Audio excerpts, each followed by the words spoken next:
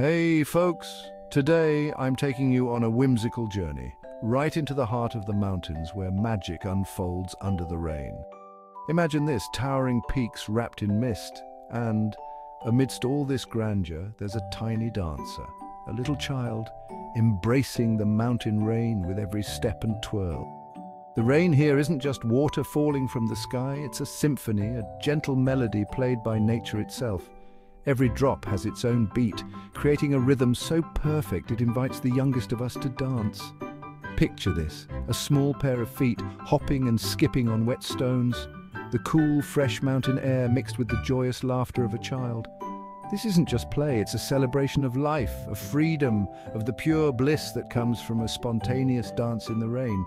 But what's so special about dancing in the rain, you might ask? Well, it's freeing. The rain washes away all worries, leaving behind a canvas for joy. For a child, it's a magical experience, a chance to connect with nature in its most raw form. And for us watching, it's a heartwarming reminder of the small joys that life offers, often unnoticed in our busy lives.